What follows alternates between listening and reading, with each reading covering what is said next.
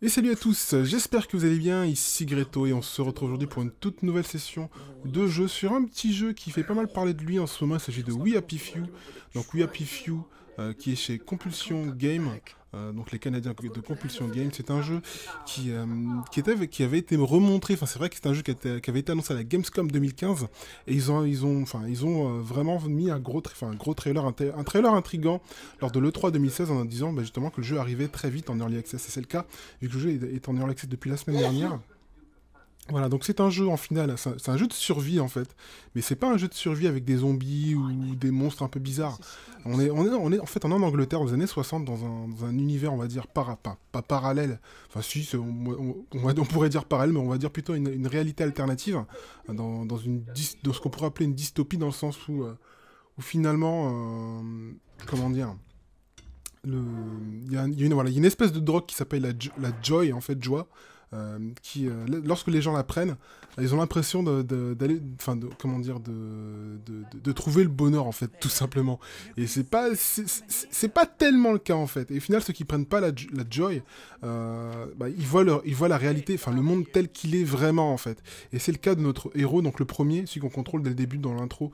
Et dans cette partie-là, c'est Arthur Hastings, donc l'un des trois personnages dans lesquels, enfin avec lesquels on pourra jouer dans le jeu. Et voilà, donc là on est dans la partie survie. Euh, c'est vrai qu'on a un prologue au début de jeu qu'on a pu voir avec le trailer d'annonce, et là on est dans la partie survie, voilà, où on va aller chercher des ressources. Parce que c'est vrai qu'on a une jauge de faim, de santé, de soif, euh, et de sommeil aussi, voilà, de sommeil. Donc le but, il va falloir dormir, il va falloir récupérer euh, de l'eau, il va falloir récupérer de la nourriture, des armes pour cette fente, ce qui est aussi du combat.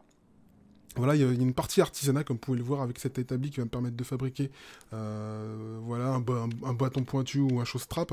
Savoir que je ne l'ai pas dit, mais cette vidéo n'est pas enregistrée en direct. C'est une succession de petites séquences que j'ai récupérées à travers ma dernière session de jeu une session de jeu que j'avais recommencé. J'avais recommencé une, petite partie, je voulais, je voulais vous montrer un petit peu bah, à quoi correspond vraiment le gameplay de ce We Happy Few.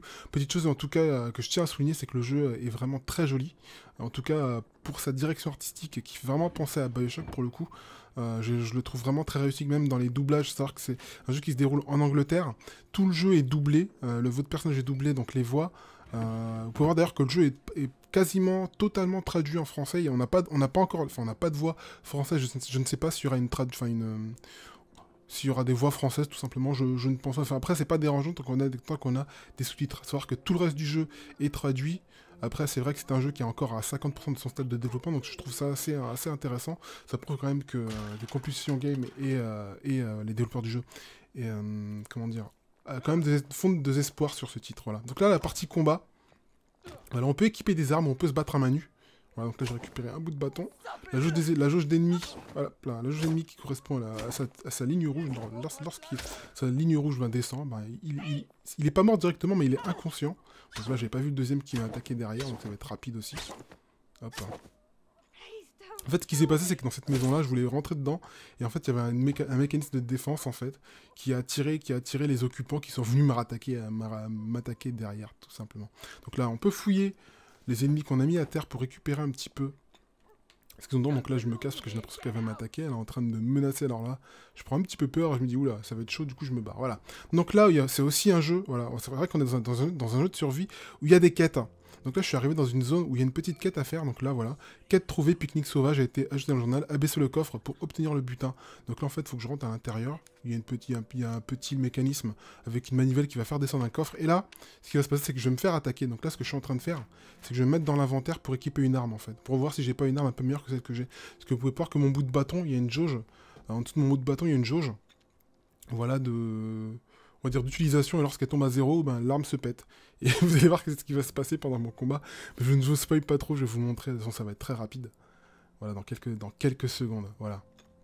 Donc comme je le disais, le système de combat qui est plutôt sympathique avec une IA, bon là j'ai pas pu vous montrer dans le combat d'avant, mais avec une IA qui est plutôt sympathique dans le sens où elle va, pas, va pas forcément directement se ruer sur vous, surtout si vous avez une arme, elle va chercher un petit peu à vous contourner, à, briser votre garde, c'est vrai qu'il y a une garde aussi, je l'ai pas montré mais il y a une garde.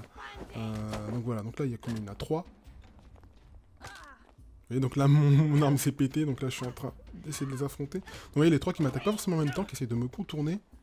Donc là, ma jauge de vie qui descend. Ma jauge de vie, c'est ce qui est en haut à gauche, le petit cœur, c'est ma jauge de vie. J'ai ma jauge de sommeil aussi, là, et ma jauge de soif, hein, qui monte un petit peu. Donc, c'est-à-dire que j'ai un petit peu faim et que j'ai un petit peu soif quand même. Voilà, savoir aussi qu'il y a une, de la petite jauge jaune au milieu de l'écran qui est une espèce de jauge d'endurance. Lorsqu'elle tombe à zéro, temporairement, je peux plus donner de coups. Voilà. Et en fonction aussi, voilà, cette jauge, cette tête la taille de la jauge est, définie aussi par votre jauge de soif et de sommeil. Plus vous avez sommeil, si vous avez trop sommeil, bah, vous n'avez plus d'endurance en fait. Et c'est la même chose si vous avez soif. Voilà, donc là je suis en train de faire un petit peu de place dans mon inventaire parce qu'il y a des trésors à les récupérer euh, dans les coffres que j'ai fait tomber justement, voilà. Un petit peu de nourriture, un livre, enfin voilà. Voilà, on est vraiment dans un jeu, dans un vrai jeu d'exploration, avec des quêtes, avec beaucoup d'artisanat, de, la ressource, enfin de la recherche. donc vraiment c'est assez classique comme type de jeu. En tout cas, moi ça me plaît pas, enfin ça me plaît, voilà, ça, me laisse, enfin... C'est pas que ça me plaît, mais ça me dérange pas tellement. Après, je, suis un petit peu... Euh, comment dire J'aimerais voir un, petit peu plus là où vraiment, enfin vraiment l'histoire en fait, là où veulent en venir les développeurs. Donc voilà.